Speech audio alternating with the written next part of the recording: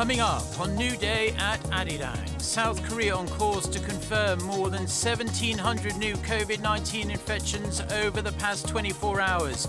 Reservations for 16 and 17 year olds to get the Pfizer shot start today, but it's up to the teenagers and their parents to decide if they get it. Japan's parliament elects former diplomat Fumio Kishida as the country's new prime minister. His cabinet features allies of Shinzo Abe, Japan's longest serving PM. Plus, the Nobel Prize in Medicine 2021 is awarded jointly to two American scientists for their discoveries of receptors for temperature and touch.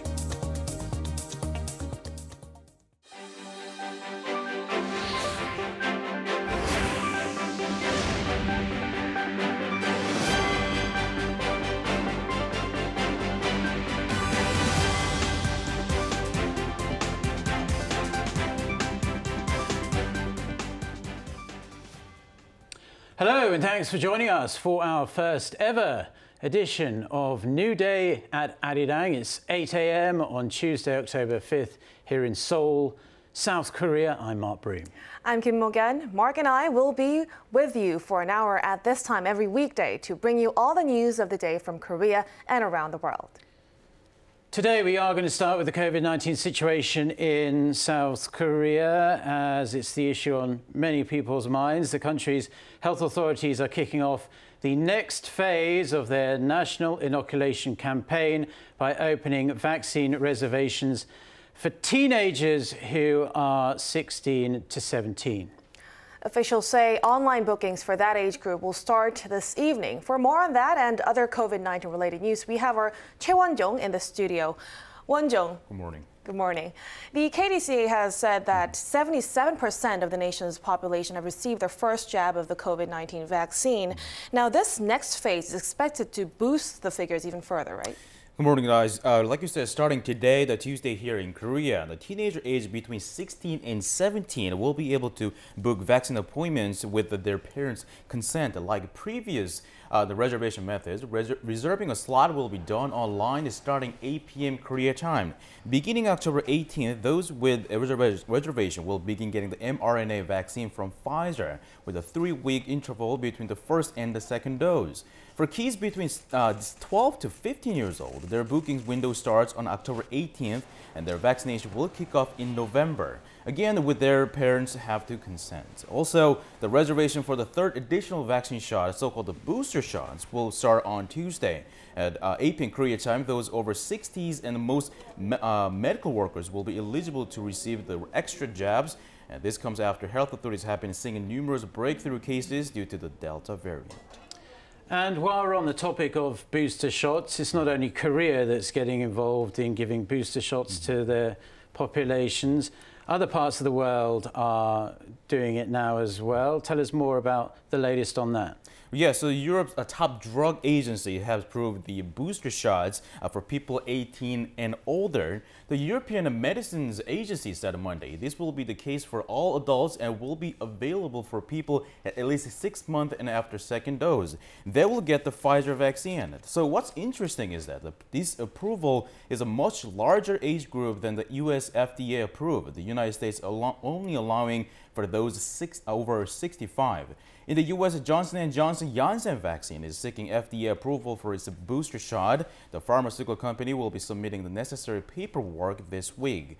The Janssen vaccine is a single dose, and the, the FDA and outside experts have been discussing whether to give the green light for this vaccine, and we'll see what unfolds over the coming days. Now, Won-jung, um, people in South Korea are returning to work today after a three-day-long holiday. Right. Now, um, health authorities are concerned of a possible spike that could be um, evident in, in, this week. Now, what do, how do we forecast the figures for today? So from midnight to 9 p.m. The, uh, the uh, Monday, new cases were reported uh, 1,515. But the final figure through midnight is expected to be around 1,700. The daily figure dropped uh, below 2,000 mark recently. However, this could be a, a temporary slowdown because the fewer tests were conducted the long weekend. Authorities are also concerned about a holiday surge as more people travel around the country during the three-day weekend. Now, I'll be back with the more, more uh, the confirmed daily figure later in the day. Yeah, we normally get that in around two and a half hours mm -hmm. right, so from three now. Hour, three hours or so. Yeah. And uh, considering it was in the 3,000 range not so long ago, mm -hmm. a dip to 1,700 would be very welcome. We appreciate your uh, such uh, segment today, Won-jung, and we'll see you tomorrow. A pleasure to be here. Thank you.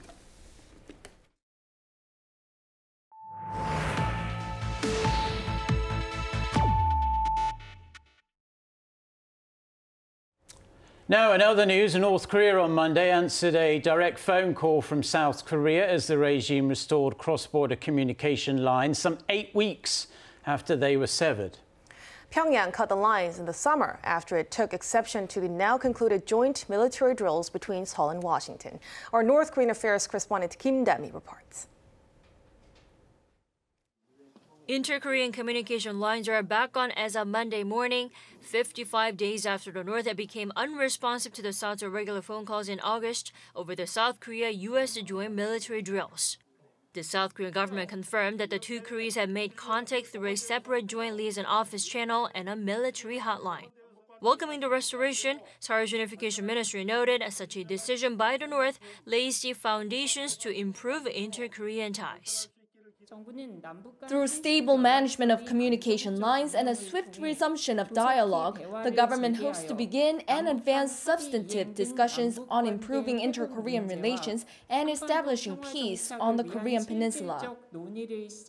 South Korea's defense ministry also voiced hope that the latest step will help alleviate military tensions on the Korean peninsula. A U.S. State Department spokesperson told Yonhap News Agency that Washington strongly supports inter-Korean cooperation, saying that the restored hotlines are important in creating a more stable environment. The restoration comes just less than a week after the regime's leader Kim Jong-un expressed a willingness to do so as part of efforts to improve inter-Korean relations during a major policy speech. The North State media reported early on Monday morning that the lines would be back to normal operation as of 9 a.m. The regime also urged Seoul to make positive efforts and work on the so-called major tasks to put inter-Korean relations back on track. Pyongyang has long insisted that Seoul and Washington must drop hostile policies against the North, as well as the so-called double standard of carrying out joint military exercises while criticizing the North's missile activities. The North has called such moves purely defensive. Kim Dami, Arirang News. Now, following on from Dami's report there, the US State Department has underscored the need for North Korea to fully abide by UN Security Council sanctions. It's also urging the regime to comply with the resolutions that ban the North from testing or developing weapons of mass destruction. The remarks came on Monday in response to Pyongyang's criticism of the UN Security Council for convening an emergency meeting last week to address the regime's latest missile launches. The U.S. State Department, however, reaffirmed Washington's support for inter Korean dialogue a day after the North restored inter Korean direct communication lines that were cut off for nearly two months. It added that Washington will continue to cooperate closely with South Korea.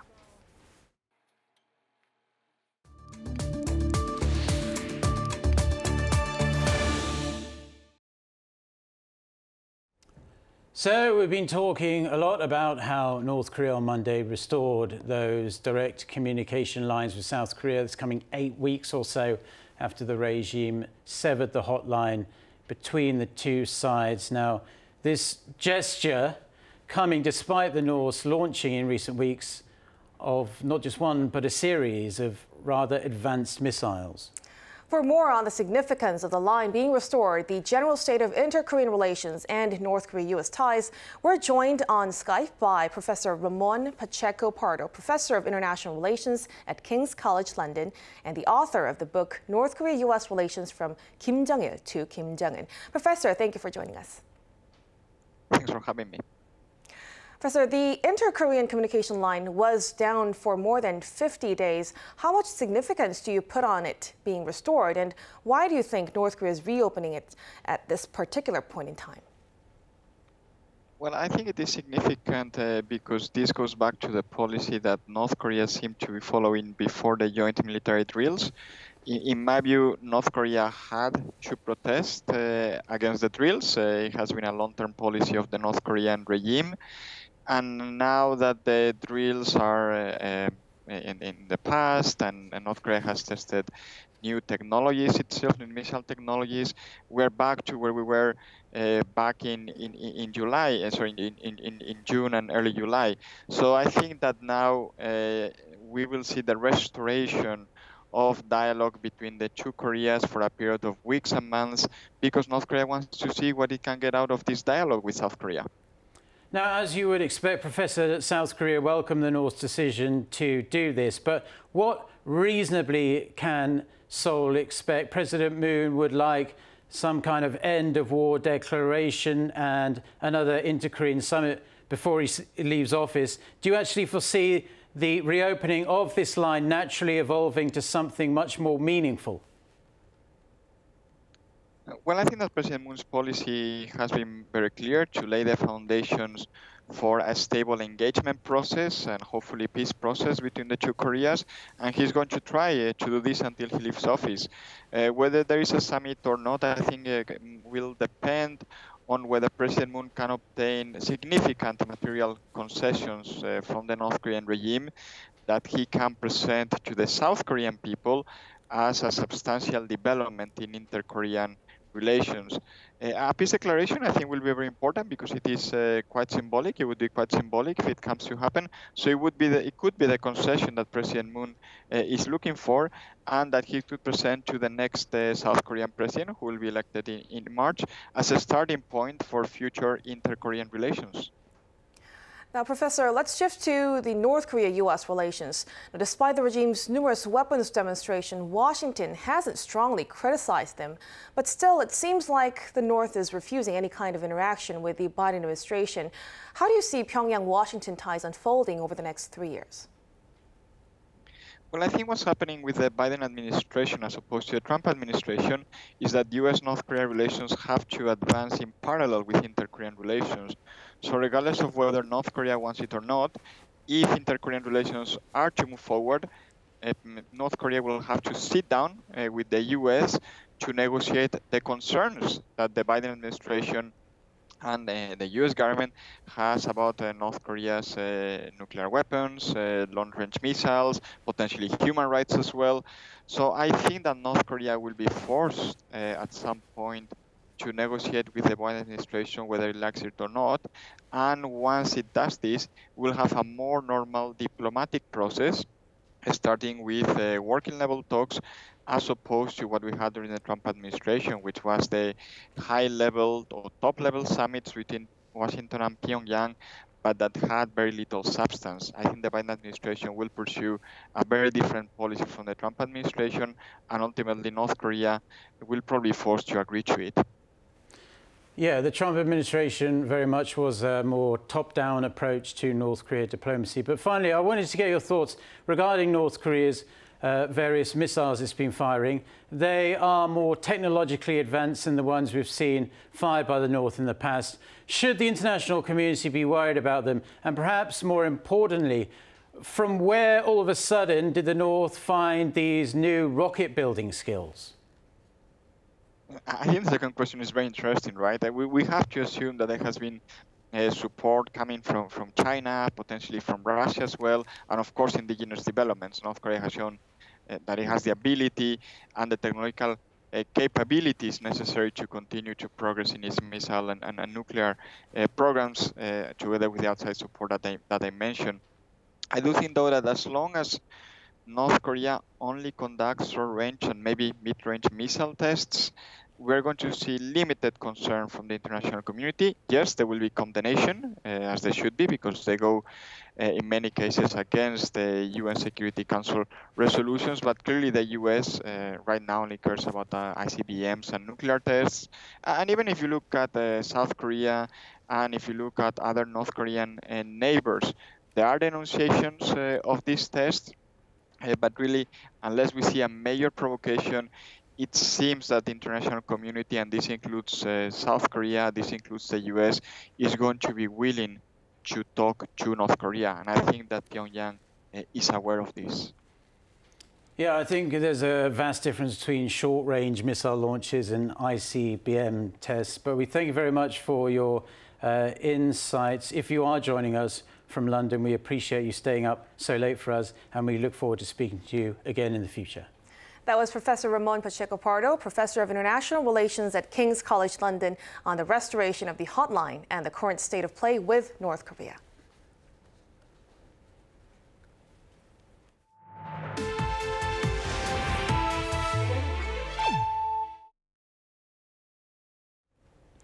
Fumio Kishida has been sworn in as Japan's new prime minister, succeeding Yoshihide Suga. Yes, shortly after his election, Kishida announced his new cabinet and said he's going to dissolve the Japanese parliament next week to hold a general election that's scheduled, penciled in for October 31st. Min Suk Hyun with the details. Fumio Kishida has become Japan's new prime minister following a parliamentary vote on Monday. He was elected leader of the ruling Liberal Democratic Party last week and has now been officially confirmed to succeed outgoing Prime Minister Yoshihide Suga. Following Monday's vote, Kishida announced his new cabinet with key posts given to close allies of former Prime Minister Shinzo Abe. This includes Chief Cabinet Secretary Hirokazu Matsuno and Trade Minister Koichi Hagiuda. Of the 20 posts, only two of Suga's cabinet members retained their seats Foreign Minister Toshimitsu Motegi and Defense Minister Nobuo Kishi, Abe's younger brother. There are also three women and as many as 13 ministers who have no previous cabinet experience. The new team has an average age of 61.8 years, higher than the 60.4 years at the time of Suga's inauguration last year. Kishida's administration is tasked with leading Tokyo out of the coronavirus pandemic as well as reviving its stagnating economy. He vowed to bolster the country's coronavirus response and said he would consider COVID 19 relief payouts. I would like to consider cash payouts targeted to those hardest hit by the pandemic who are also in vulnerable positions such as women, non-regular workers, and students. In the future, we would like to decide on how much cash payouts we will make after discussing the specific plans. On foreign policy, Kishida is expected to support a strong alliance with the US and address security threats from China and North Korea. The 64 year old said he is open to meeting with North Korean leader Kim Jong un without any preconditions. Attention is also drawn to how Kishida's government will approach and resolve Seoul and Tokyo's sour relations. The two sides have long been at odds over territory and other historical issues, including the South Korean victims of forced labor during Japan's colonial rule. The new prime minister plans to dissolve parliament next Thursday and hold a parliamentary election by the end of this month. Min Suk Hyun, Arirang News. It's the time of the year when the Nobel Prize is given to scientists to honor their groundbreaking research. The first award, the Nobel Prize in Medicine, has been given to the scientists who discover the receptors in the skin that allow us to sense heat and pressure. These could lead to new findings that can treat chronic pain. Our Chang Tae-hyun reports. The 2021 Nobel Prize in Physiology and Medicine was awarded jointly on Monday local time to two American scientists, David Julius and Ardem Patapoutian. They were awarded the prize for their work on how people sense heat, cold, touch, and their own bodily movements. Physiologist Dr. Julius used an ingredient of hot chili pepper to identify a protein on nerve cells that responds to hot temperatures. The capsaicin from chili pepper activate a channel on the surface of cells known as TRPV1, which was also identified as the nerve sensor that allows the skin to respond to heat. Molecular biologist Dr. Patapoutian poked individual cells with a tiny pipette and found which receptor responds to pressure. Pain and pressure were among the last sensations that scientists have been trying to explain on a molecular level. The findings have gathered interest from pharmaceutical companies looking to make non opioid painkillers. By blocking the channel identified, they could address chronic pain. The Nobel Prize comes with a gold medal and prize money of 10 million Swedish crowns, or roughly 1.15 million US dollars. The next scheduled Nobel Prize ceremony is in physics, which will be announced on Tuesday. Chang Tae-hyun, Arirang News.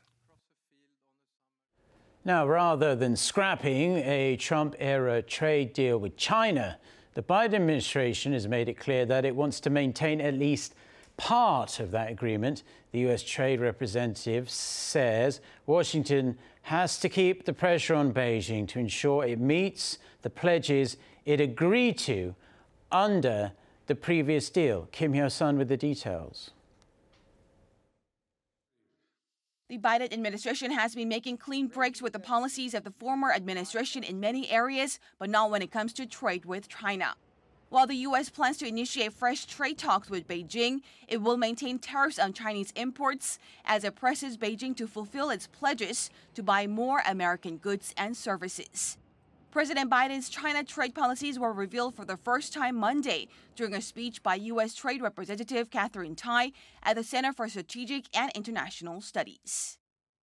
But above all else, we must defend to the hilt our economic interests. And that means taking all steps necessary to protect ourselves against the waves of damage inflicted over the years through unfair competition. We need to be prepared to deploy all tools and explore the development of new ones, including through collaboration with other economies and countries. She also stressed that Washington will address Beijing's failure to keep its promises under a Phase 1 trade deal that was inked last year during President Trump's term in office. However, Tai explained the U.S. will not pursue Phase 2 negotiations over China's state subsidies and other structural issues. I think that we are going to have uh, and intend have to have really honest conversations with China about all of the elements of the Phase One agreement. These are commitments that China made. Uh, they are commitments that um, our uh, businesses um, and uh, workers in certain sectors have looked to. Um, and um, um, we will have to address where this relationship goes from this starting point. The Biden administration has spent months reviewing its China trade policy, including the tariffs levied by the former Trump administration on some 370 billion US dollars worth of Chinese imports. The imports in question range from electronics and furniture to items that are part of the supply chain for many US manufacturers. Myesan, Arirang News. Heavily indebted Chinese real estate giant Evergrande is set to raise over 5 billion US dollars by selling a majority stake in its property management unit. According to local media Monday, Chinese real estate firm Hopson Development was the buyer of the 51% stake in the unit. Trading of Evergrande's shares was suspended on Monday pending an announcement related to major transaction. Evergrande has a debt of more than $300 billion, and the fate of the company has implications not just in China, but on the global market. Ministers from the Organization of the Petroleum Exporting Countries and their allies, known as OPEC Plus, have decided to continue with their existing oil output plan to only gradually add oil to the market. The 23 member group agreed on Monday to raise production by a modest 400,000 barrels a day in November, less than 0.5% on global demand. Immediately after Monday's decision, oil prices jumped, with the price of a barrel of crude hitting above 78 US dollars on the New York Mercantile Exchange, the highest since 2014. A pipeline failure off the coast of Orange County, California has caused at least 126,000 gallons of oil to spill into the Pacific Ocean by Sunday, a day after the failure. Dead fish and birds started washing ashore. It created a 20 kilometre long slick that extended from Huntington Beach all the way to Newport Beach. It's not immediately clear what caused the leak. Officials believe it involved a failure in a 28 kilometre long pipeline connected to an offshore oil platform operated by Beta Offshore. A probe is underway to pinpoint the cause of the spill and the type of oil involved. In sport, South Korea's Shin Yu-bin has finished runner-up in the women's individual event at the 2021 Asian Table Tennis Championships in Doha. Facing Japan's Hina Hayata on Sunday, the 17-year-old sensation won the first set before dropping the next three to earn the silver medal. The silver medal is Shin's first medal at an international event. It also marks South Korea's first silver at the Asian Championships in 53 years.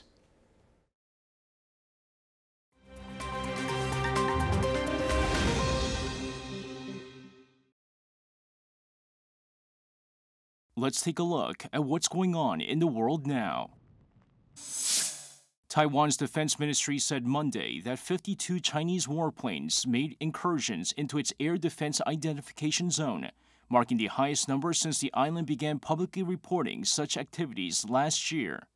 The latest incursions come after 39 Chinese military planes flew into the zone on Saturday.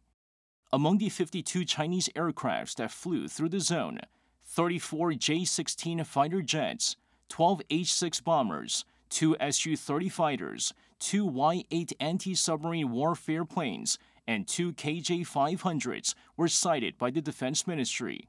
The map released by the ministry showed that all 52 incursions were spotted at the extreme southwestern part of Taiwan's ADIZ. In response to the Chinese activity, radio warnings were issued, with air defense missile systems also being deployed to monitor the incursions. China's state-run Global Times on Sunday said the People's Liberation Army was conducting expanded drills near the island. However, the incursions do not violate Taiwan's sovereign airspace, which extends 12 nautical miles from its coast. Since last October, 145 incursions by Chinese warplanes have been reported by Taiwan. If you're asking how some of the world's richest and most powerful people hide their money, the answer may be found in almost 12 million financial documents known as the Pandora Papers. According to a report by the International Consortium of Investigative Journalists, some of the current world leaders hid massive sums of money in overseas accounts. This includes the King of Jordan, who secretly spent more than 100 million US dollars on a property empire in the UK and the US. However, the papers also names current world leaders such as Czech President Andrej Babis, Kenyan President Uhuru Kenyatta, Ecuador's leader Guillermo Lasso, as well as Russian President Vladimir Putin. However, they're just among a handful of more than 330 current and former politicians identified as beneficiaries of secret accounts. According to a report, many accounts were designed to evade taxes and conceal assets. The Pandora Papers are a follow up to a similar report released in 2016 known as the Panama Papers, which was compiled by the same journalistic group. Finally, over in Oman, at least 13 people are dead after Tropical Storm Shaheen ravaged the country on Monday. Cars and roads were submerged in heavy floodwaters, with the storm carrying winds of between 120 and 150 kilometers per hour at its peak. Oman State TV showed people in flooded areas being rescued by helicopters, while tractors plowed through mud. The storm was initially labeled a cyclone before losing power over land to downgrade to a tropical storm. Lee Seung-jae, Arirang News.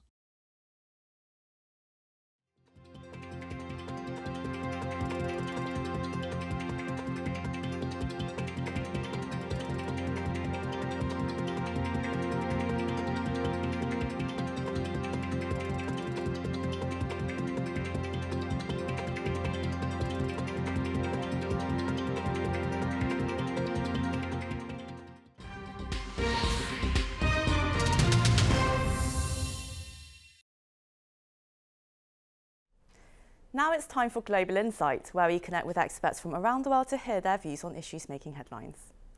Japan's Fumio Kishida took office as Prime Minister on Monday, vowing to make efforts to lead the country out of the COVID 19 pandemic and tackle income inequality. After win winning a leadership race within the ruling Liberal Democratic Party last week, a parliamentary vote confirmed him as the head of government. He named his key cabinet members and also called a, for a uh, parliamentary election for October 31st, a much earlier date than many expected, although his party is, of course, more than likely to retain its majority in the decision-making body. Today we discuss what's ahead for Japan's 100th Prime Minister as he sets out to lead the world's third largest economy and also how he's going to shape the country's foreign policy amid various global and regional challenges.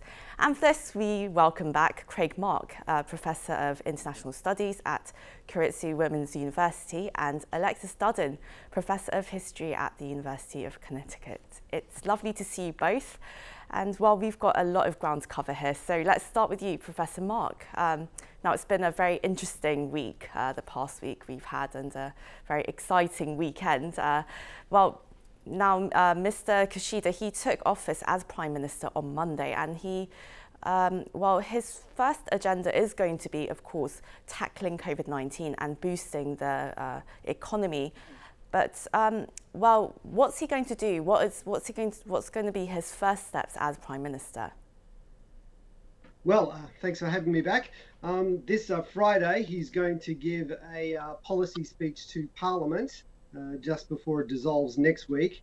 And uh, in that speech, we're probably going to get more details about how he proposes to stimulate the economy uh, to recover from the pandemic in his uh, first press conference as Prime Minister last night, he did mention a couple of details like uh, increasing wages for public sector workers, like uh, teachers and nurses.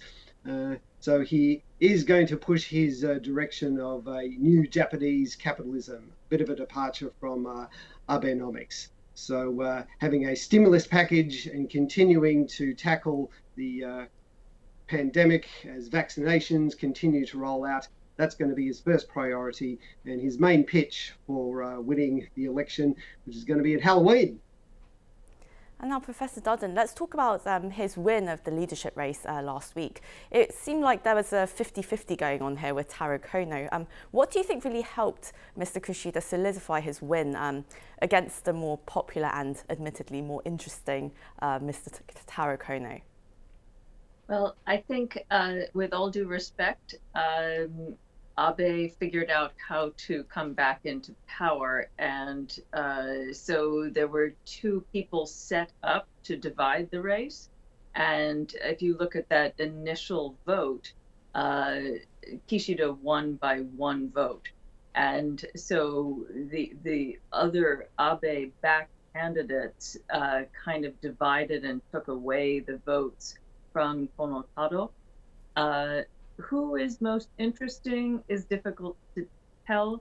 Obviously, Kono is uh, more engaging. He's unusual. He speaks better English.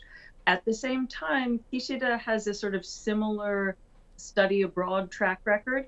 He was in second and third grade in New York City. Uh, so who knows what he'll do? Uh, what we do know is he's brought Abe Shinzo back into the fold.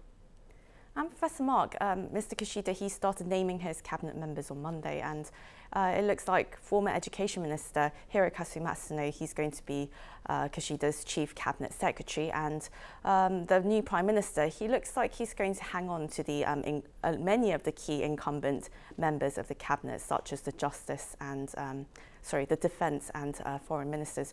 What do these candidates tell us about the kind of government that Kishida is going to be leading? Well, the most striking thing is keeping the defence and foreign minister the same. So that does show the uh, influence of, you could say, the most powerful faction in the LDP, the Hosoda faction, which uh, Mr. Abe is a member of. Uh, however, uh, he does have most of the cabinet being brand new members, uh, 13 out of the 20. And so uh, Mr. Kishida is uh, trying to blunt the criticism of opposition politicians, saying, oh, it's just an Abe cabinet and he's the shadow shogun pulling the strings. Uh, so uh, he'll be using his uh, authority of an election win to also uh, try and make the point that it's his government, not Abe's government. And well, as you both have mentioned, uh, many have sensed former uh, Prime Minister Shinzo Abe looming behind the scenes. And well, Professor Dudden, how much autonomy and authority do you think Kishida is going to have? Um, do you think he's going to be constrained by his faction, where uh, Shinzo Abe does very much remain a very influential figure? it's an excellent question, and I completely agree with Professor Mark. I think there are two ways to answer this question. One is to be broadly comparative and to look at what just happened in Germany, right? Where every, you know, we had an election, Angela Merkel, and everything's up for grabs, and there are all kinds of new people involved. In Japan, we've had a turnover, and uh, on the one hand, yes, as Professor Mark has just mentioned, Kishida is putting new names in.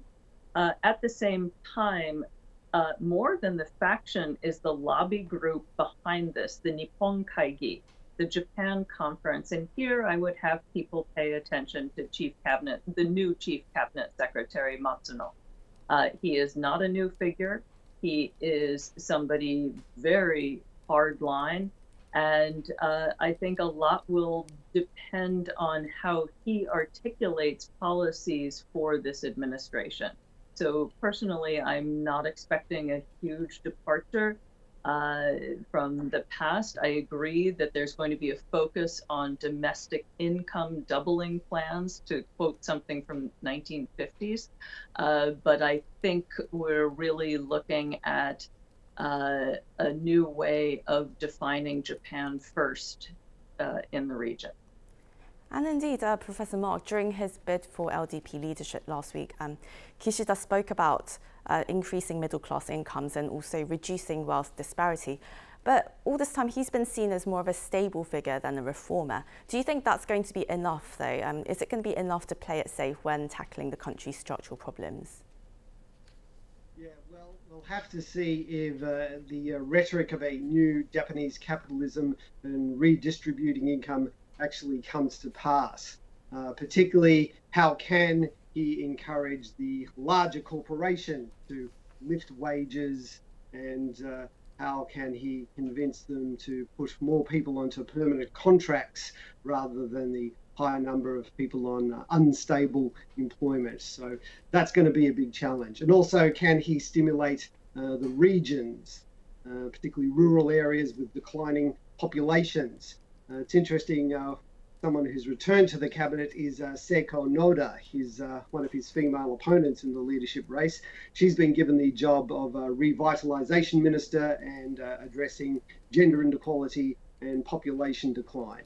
Um, so he's got big challenges to fix the structural uh, challenges of the Japanese economy, and particularly as the pandemic ends and as borders open up, uh, the, we need to see the extent to uh, whether foreign workers return to help boost the labour force and uh, foreign tourists return in large numbers, international students.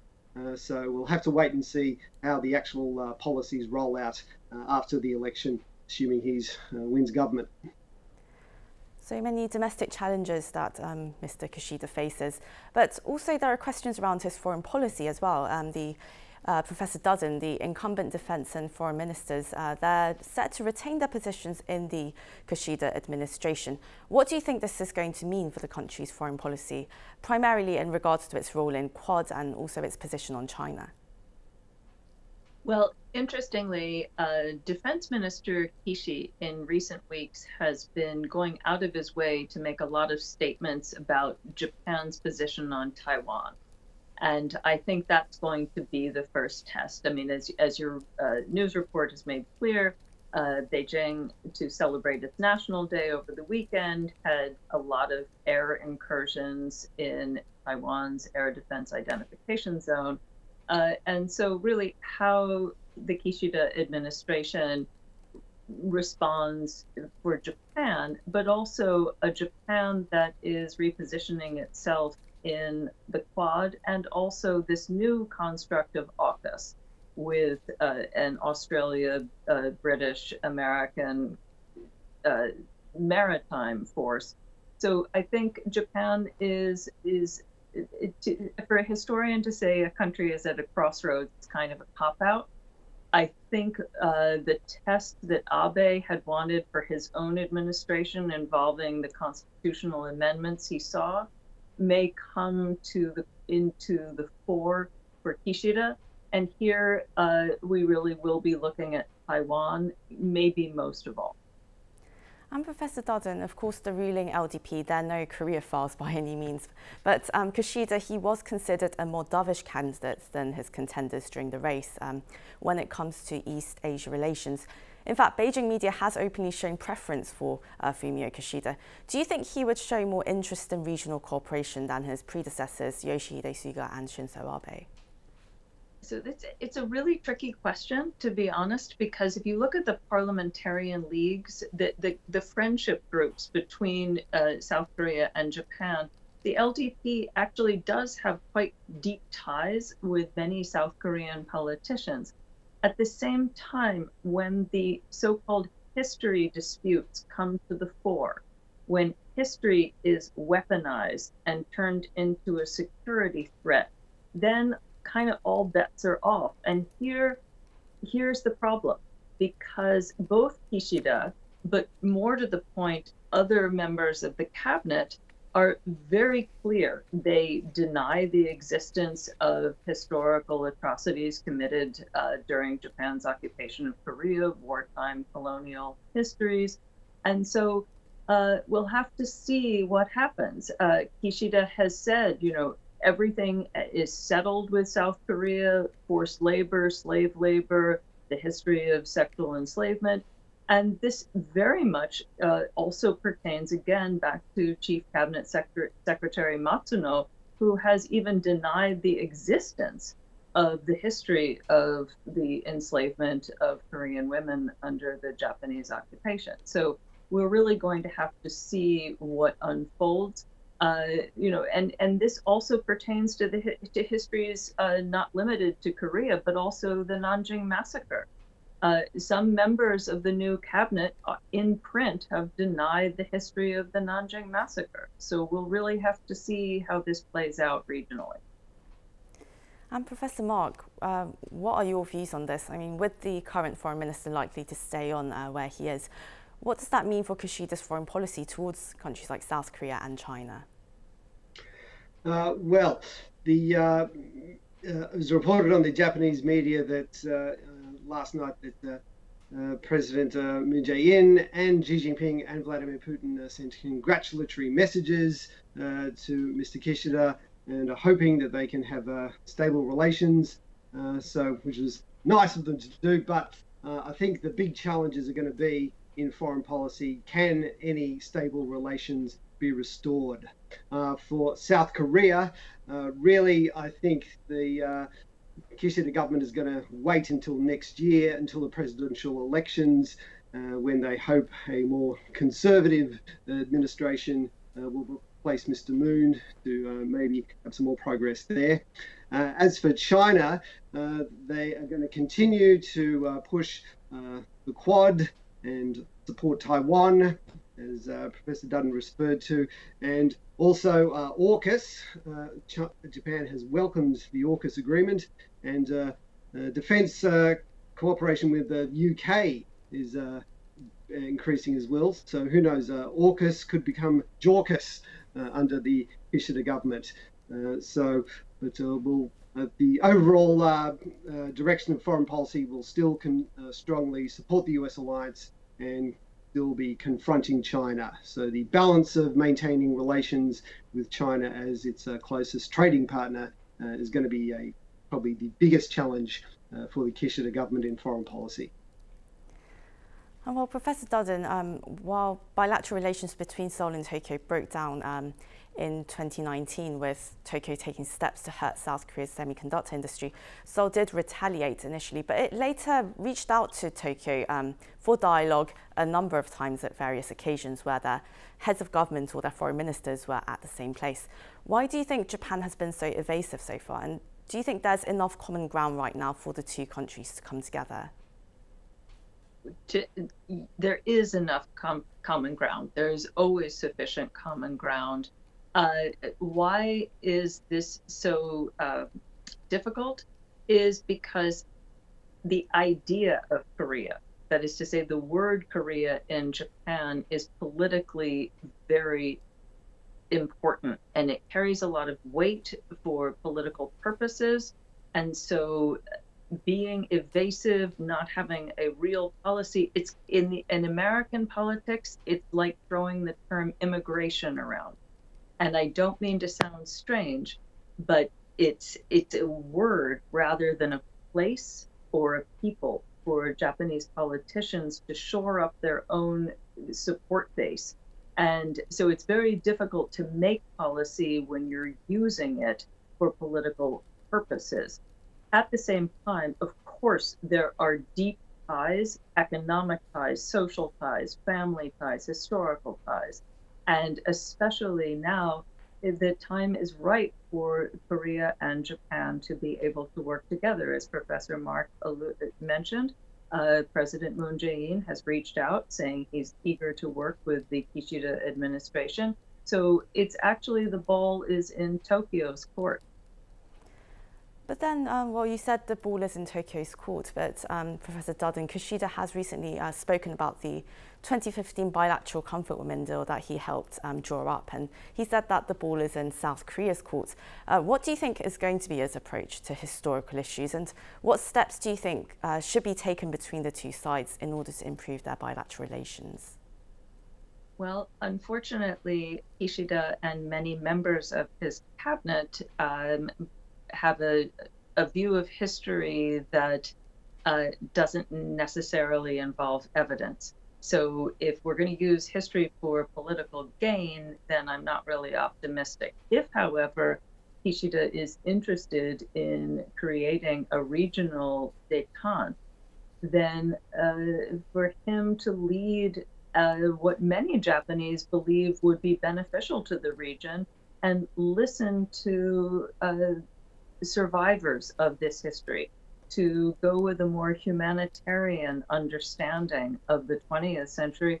Because honestly and i guess this is all i'll say this is not an issue between japan and korea. This is an issue of world history and it is in japan's benefit to lead the region on this issue. And it could be up to kishida to win and now, before we go, uh, Professor Mark, uh, Mr. Kishida's party, they're going to be launching their parliamentary election campaign in the coming weeks, as the new Prime Minister did call a, a very um, much more um, earlier than anticipated election.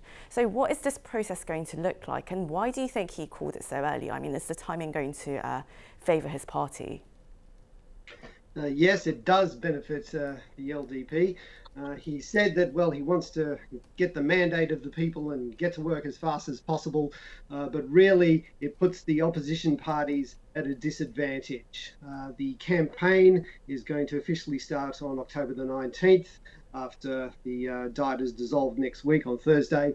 And uh, so it's going to be a short campaign of less than two weeks, which gives the opposition uh, less time to organise and mobilise and campaign. And so the uh, LDP is very likely to uh, keep its majority. It might lose a number of seats, uh, but it's pretty much guaranteed that uh, uh, Mr. Kishida and his coalition with the uh, Komeito party will be comfortably returned. it'll be interesting to see, though, next year. The upper house elections are due in the middle of next year for half the House of Councillors.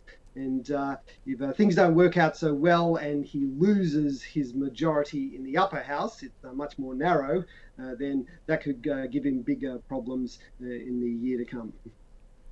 Well, that's all we have time for today. That was Craig Mark, Professor of International Studies at Kyoritsu Women's University and Alexis Dudden, Professor of History at the University of Connecticut. Thank you so much for your insights. Thank you. Thank you.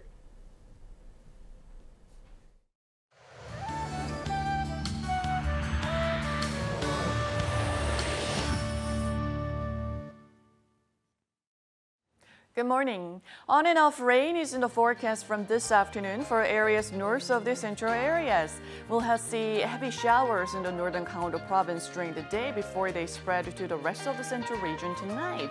But southern provinces will have a warm day under sunny skies. Morning temperatures in the capital are quite warm, over 23 degrees Celsius, and we have sunshine to start the day. Highs in northern regions won't rise much from the morning lows, so Seoul will only go up to 25 degrees. But southern provinces will enjoy sunshine all day with warm highs, Daegu and Gwangju hitting 29 degrees. It's going to be cooler than this season norms through the end of the week with frequent rain across Korea, so please keep an umbrella handy. With that, here's a look at the weather conditions around the globe.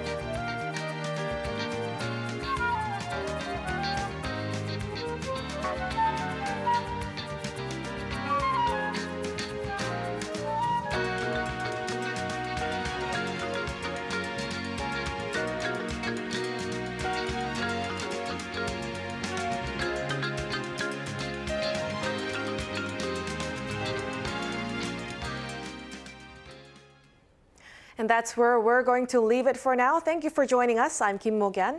And I'm Mark Broom. Thank you to all our guests and reporters today. New day at Arirang We'll be back at 8 a.m. Korea time tomorrow. And I myself will be back with more news in around an hour from now. So keep tuned to Arirang TV. Goodbye. Goodbye.